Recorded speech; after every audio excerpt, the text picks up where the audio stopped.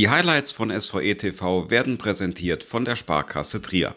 Hier ist tatsächlich alles vorbereitet für eine massive Gänsehaut, denn äh, die Choreografie, und da übertreibe ich definitiv nicht, die hat alligatormäßige Züge an sich. Hallo, guten Tag. Ali. Es ist unfassbar, was hier die Anhänger unserer Eintracht auf die Beine gestellt haben. Was war das Erste, was du dir gedacht hast, als du heute einen Schritt ins Moselstadion gesetzt hast? Gut, ich war ein bisschen überrascht. Ich wusste zwar, dass äh, so ein bisschen was geplant ist, aber ich wusste nicht, in welchem Ausmaß. Äh, von daher ja, sah das natürlich schon äh, beeindruckend aus, als wir hier angekommen sind. Ähm, uns wird da gerade was gereicht. Danke.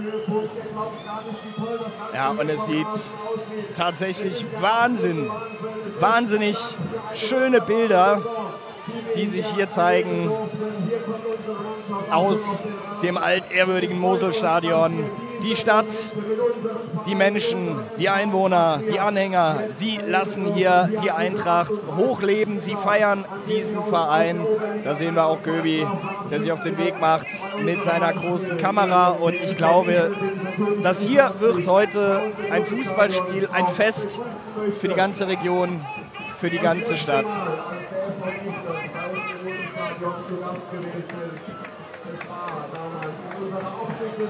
Unglaublich.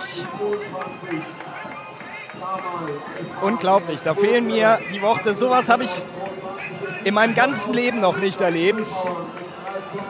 Im Moselstadion. Das hier ist so gigantisch. Da fehlen einem wirklich die Worte. Unfassbar. Ich will nicht wissen, wie viele Männer und Frauen, wie viele Stunden, wie viele Tage, Nächte an dieser Choreografie gearbeitet wurde. Das hier ist, das ist wirklich der Wahnsinn.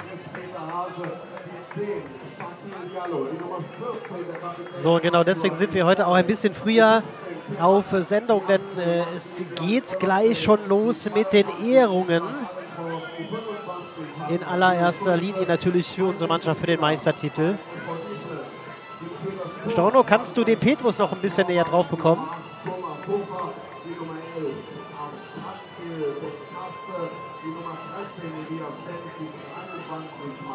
Danke.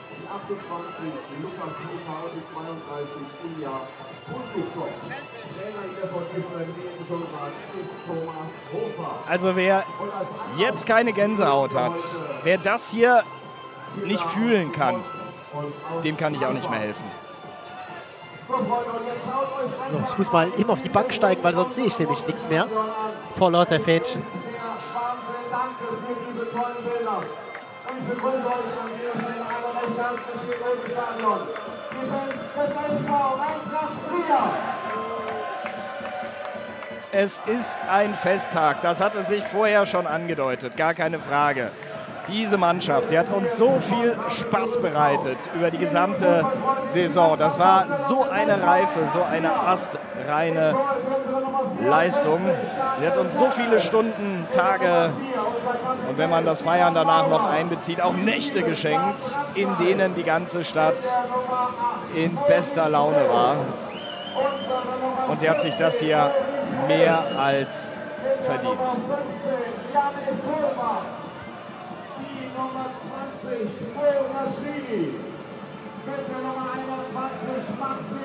Ja, doch am Ende weht die von Bieoje ganz oben. Ein SV. E.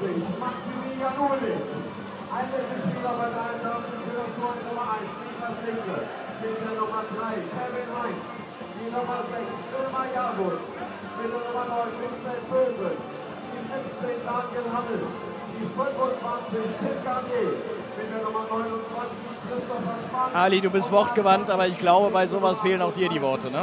Allerdings, äh, man muss sich auch immer wieder hervorrufen, das hier ist Oberliga-Fußball zwar nicht mehr lange, aber noch ist das hier Oberliga-Fußball.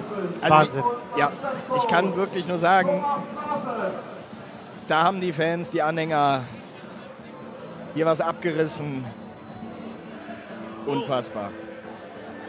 Dankeschön.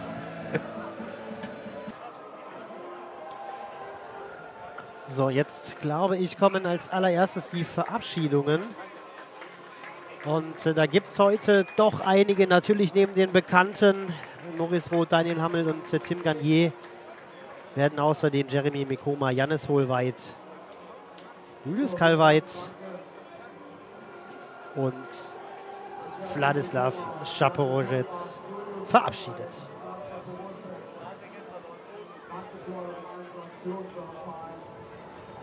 Beginnen mit äh, Vlad, Jeremy Mikoma und äh, Janis Holbach.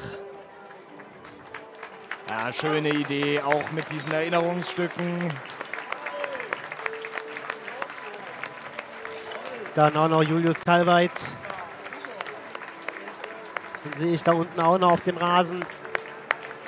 Und Sie alle haben hier maßgeblich zu diesem Erfolg in dieser Saison beigetragen.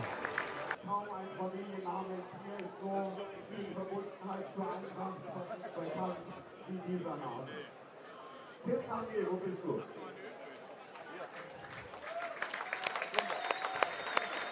Den Anfang macht Tim Gani. Gani, lange verletzt, aber zu 1905 Prozent immer im Herzen der Eintracht. Er bleibt auch der Eintracht erhalten.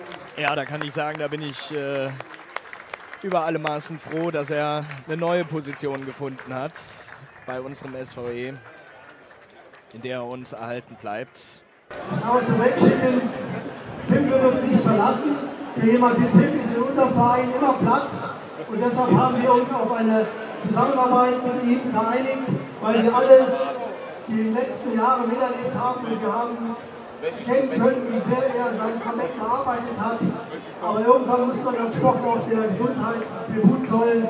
Aber wir sind sehr zuversichtlich, mit ihm jemanden in unserem Verein zu finden, den wir auch in Zukunft noch sehr, sehr lange bei uns haben werden und an dem wir sehr viel Freude haben werden. Vielen Dank.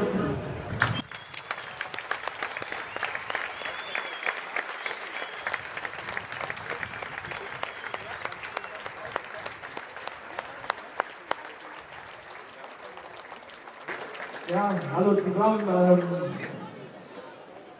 schwerer Moment. Äh, schwierig auch die richtigen Worte zu finden.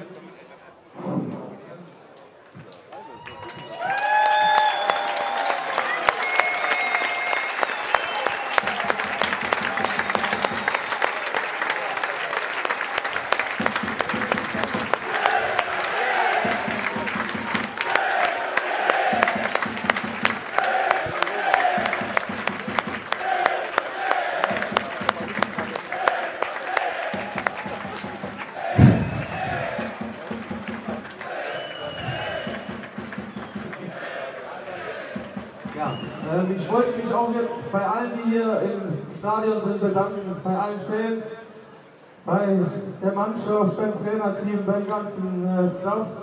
Ihr habt mich jetzt über die letzten, gerade letzten zweieinhalb, drei Jahre äh, extrem unterstützt, äh, dass es vielleicht noch mal klappt mit dem Comeback. Äh, es hat jetzt erstmal nicht hingehauen. Ich werde mich jetzt noch mal operieren lassen. Ähm, wer weiß, was irgendwann ist. Äh, ja, vielleicht klappt es noch mal mit dem Comeback auf dem Platz. Würde mich freuen, aber ist jetzt auch nicht äh, das, was kommen muss. Ich hatte eine wunderschöne Zeit auf dem Platz, viele schöne Stunden und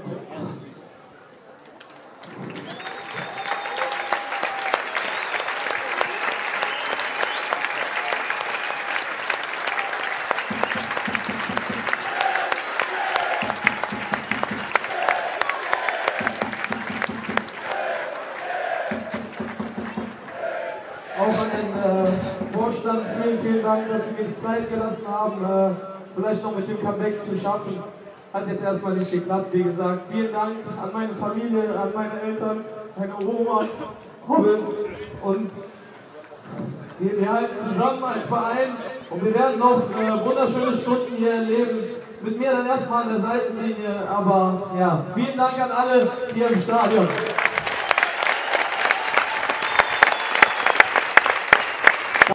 Zweimal war auch er auf dem Rasen einer von uns gewesen und er wird auch bei uns bleiben. Danke, Daniel Hammel. Ja.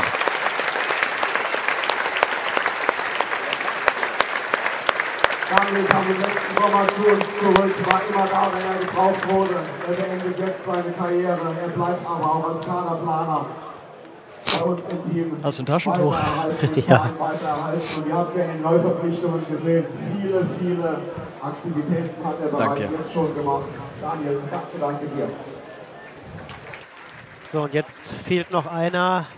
Ja. Das ist unsere Nummer 8. Das ist Maurice Roth. Und das ist das Beste, was die Pfalz je zustande gebracht hat. Ja, da habe ich noch einen kleinen Einwand, aber das weißt du ja.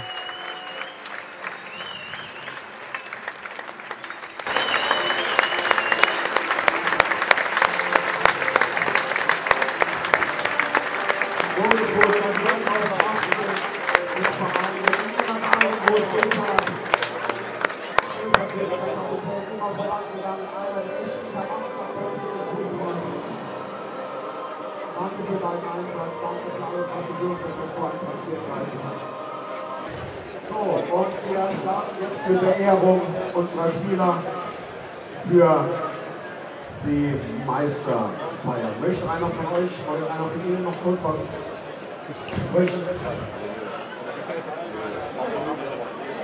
Ja, guten Tag auch von, von meiner Seite. Äh, zunächst einmal ein herzlich willkommen hier im Trier im Moselstadion.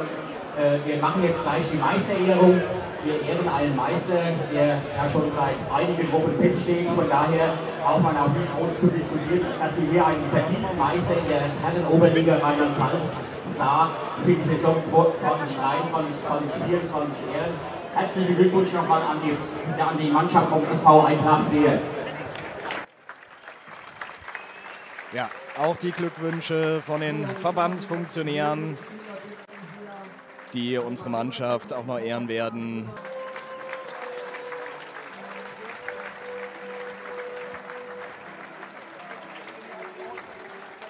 Ja, und Ali, ich glaube, so viel können wir schon mal festhalten. Mit einem pünktlichen Anpfiff wird das heute nichts mehr. Nee, es äh, hat sich dann noch ganz schön nach hinten geschoben.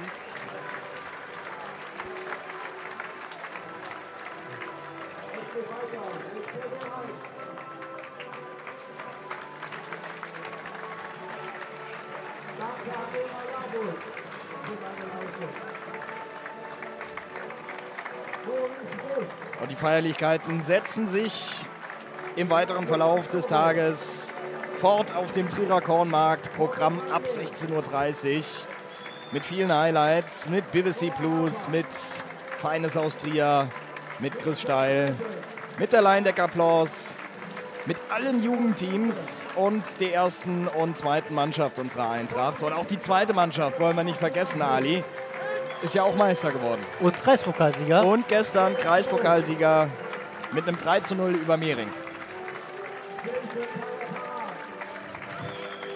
Man merkt, äh, in den letzten Jahren hat sich das so ein bisschen manifestiert. Wenn wir aufsteigen, dann meistens doppelt. Vor zwei Jahren war es die A-Jugend, die in die Bundesliga aufgestiegen ist. Und dieses Mal ist es dann die zweite Mannschaft, die ebenfalls den Aufstieg feiern kann.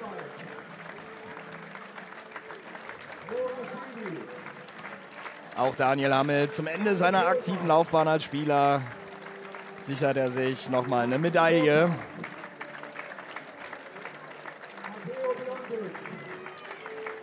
Ich hoffe, die Jungs haben genug Medaillen dabei. Ich denke schon. Ich hoffe, für den Busfahrer ist auch noch eine dabei.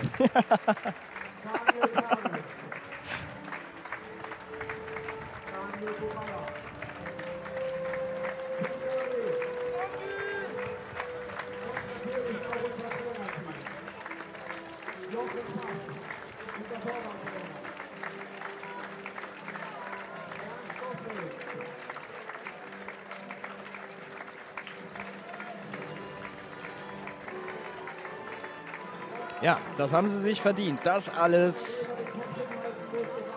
an Gigantismus nicht zu überbieten, die Choreografie. Würdiger Rahmen heute hier im altehrwürdigen Moselstadion.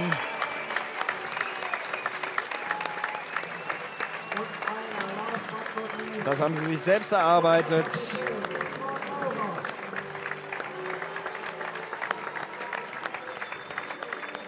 Und natürlich auch er hier, natürlich auch Jonas Backes, unser Physio, aber auch er hier gerade. Ganz besonders, unser Chefcoach Thomas Klaassen.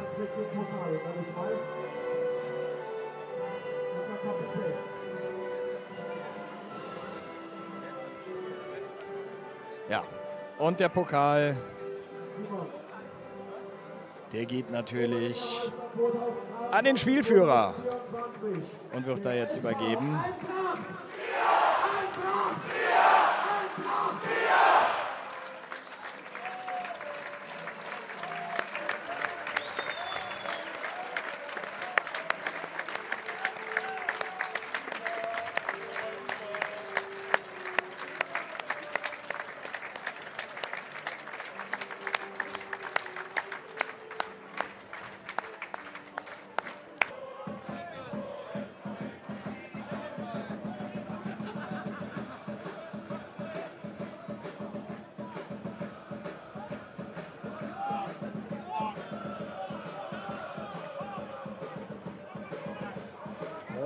Ternes wird da früh angelaufen von äh, Shaquille Diallo und das ist das 1 zu 0 Ja, für die Gäste. da waren sie ein bisschen zu schlafmützig. Da sehen wir den Rückpass auf Ternes. Und der sieht nicht, dass da Shaquille Diallo angelaufen kommt. Und dann klatscht das Leder vom Pfosten ins Tor. Ich glaube, das kann man Geschenk nennen. Das war ein ganz, ganz großes Geschenk. Ali, jetzt mal ganz ehrlich, zwei Monate hast du jetzt Pause. Was stellst du eigentlich jedes Wochenende an? Ich habe äh, genug Sachen zu tun. Genügend, glaub mir. Wieder gut gezogen, abgelegt in die Mitte. Da ist Morris Roth mit dem Ausgleich. Und was für einem. Wahnsinnstreffer hier in der 13. Minute von unserer 8.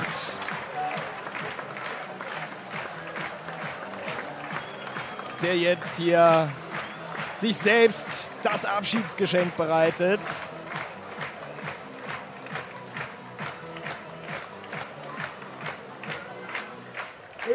Und da sehen wir es nochmal. Das war richtig gut gemacht, zurückgelegt, durchgelassen und dann fliegt da Morris Roth rein in dieses Leder. Müller-Köther-Reisen präsentiert das 1 zu 1. Und der Torschütze war unser Spieler mit der Nummer 8. Morris! Morris! Morris! Und hebt halt auch nicht die Fahne. Gut, seit Auersmacher wissen wir, dass da auch Linienrichter so viel winken können, wie sie möchten. Egal ob Einwurf, Abseits. Oh, und jetzt Brandscheid, ganz allein durch. Brandscheid. Und da ist es. Und natürlich Brandy's on Fire als Tormusik. Und auch er beschenkt uns und sich selbst.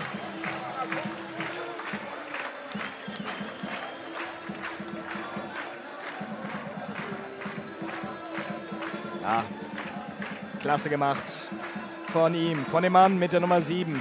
Brandy's on Fire. In der 27. Spielminute. So, und da schauen wir natürlich auch nochmal drauf. Schöner, langer, öffnender Pass auf Brandscheid. Und dann besitzt er die Schutzbe. Und es geht ab durch die Hosenträger von Kai Zahler. Unser Spieler mit der Nummer 7. Jan! Jan! Jan! Ja, und ich glaube, dieser Blick spricht Bände.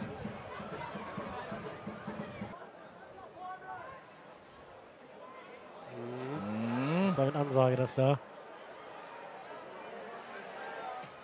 Ja, und was für ein Treffer. Wieder zu schlafmützig von Shaquille Diallo. Keine Chance für Ternes, das Ding da noch abzuwehren. Da sehen wir es nochmal. Da mussten sie die rechte Seite öffnen und äh, ja, das Ding, besser kannst du es aus der Position nicht in die Maschen hauen. Nee.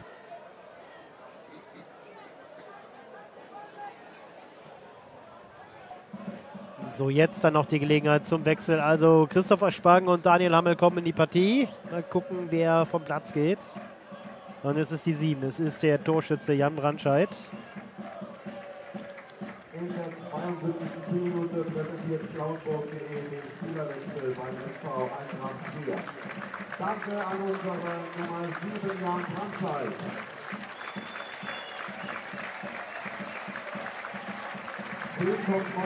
Und außerdem vom Platz geht Mitte 8 Moritz Roth. Ja, und für ihn erhebt sich dann auch nochmal das komplette Stadion.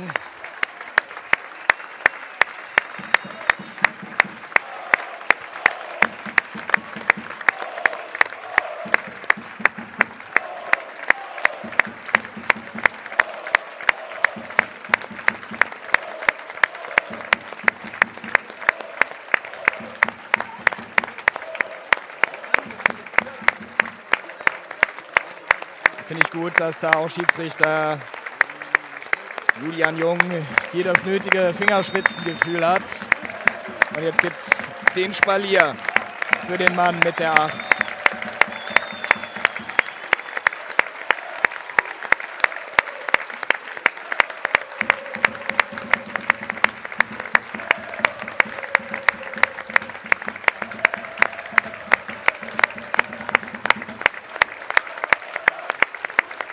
das hat er sich sowas von verdient. Längst ist und hat sich hier ins Herz gekämpft. Aller Anhänger.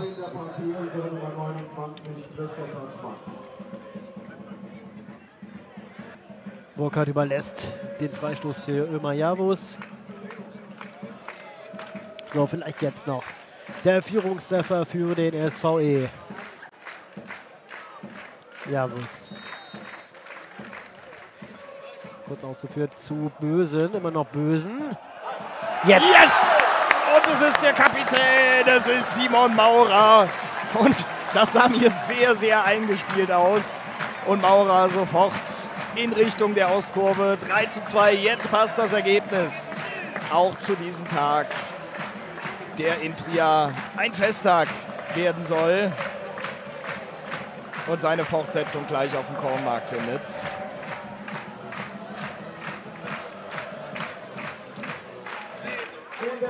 Da sehen wir es nochmal.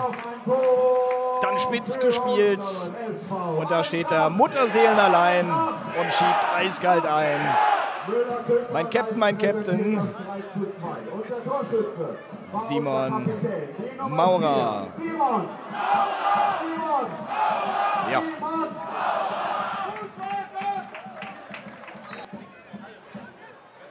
Schön gemacht von Daniel Hammel auf Rusch, Frusch. Handspiel. Ja. Und das gibt Elfmeter, Handspiel von Fabian Poss. Kann es auch keine zwei Meinungen geben. Da haben wir es nochmal. Schön mit Übersicht von unserem Leuchtturm in der Offensive von äh, Daniel Hammel. Ja. Und da hat der Schiedsrichter keine andere, so, keine jetzt, andere Chance. Jetzt könnte es äh, noch ganz, ganz emotional werden, denn diese Chance möchte sich Thomas Larsen nicht entgehen lassen und bereitet noch einen Wechsel vor. Und es ist natürlich Tim Garnier, der hier die Chance bekommt, sich mit einem Tor zu verabschieden. präsentiert in der 81. Spielminute den Spielerwechsel beim SV Eintracht Trier. Ja, da müssen noch schnell die Stutzen angezogen werden. Und was für ein Fahnenmeer hier in Trier zu seinen Ehren. Unsere Nummer 25. Tim. Tim. Tim.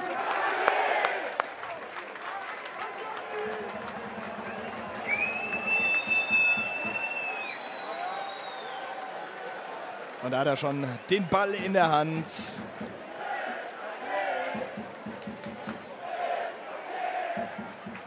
Und hat hier die Möglichkeit, sich mit einem Tor zu verabschieden.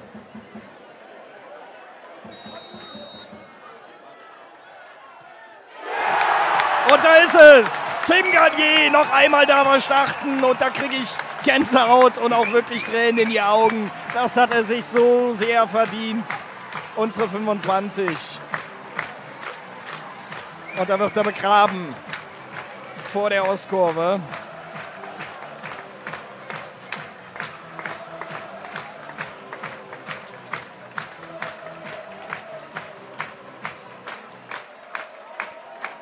Freunde, diese Geschichten schreibt nur der Fußball.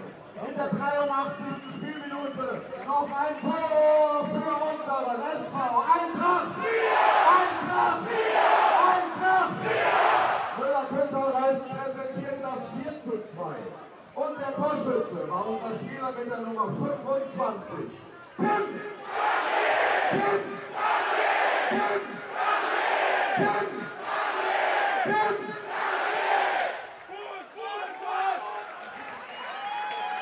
Oh, das hat er sich so verdient. So, und da haben wir das Ganze nochmal. Legt er sich gefühlvoll den Ball zurecht.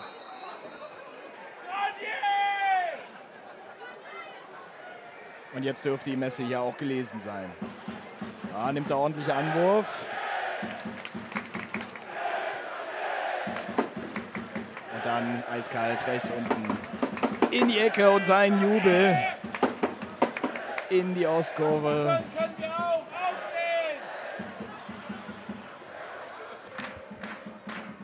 So, und da seht ihr nochmal die grandiose Stimmung hier im äh, Mosel-Stadion heute. Oberliga, Oberligameister wird skandiert und das war's. Da ist der Schlusspfiff. Eintracht Trier gewinnt das letzte Saisonspiel gegen den FV Dieflen mit 4 zu 2. Das ist richtig, Ali. Und wer sollte es anders sein als unsere Nummer 8, Maurice Roth? Mo.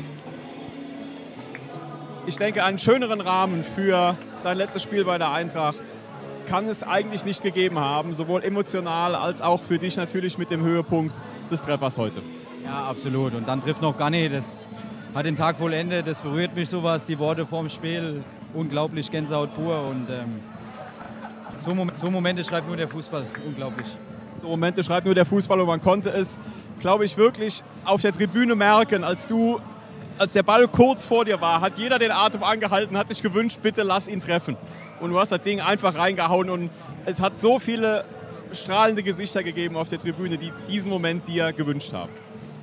Ja, im Spiel berührt es mich natürlich nicht so, aber dann sehe ich die Jungs auf mich zukommen.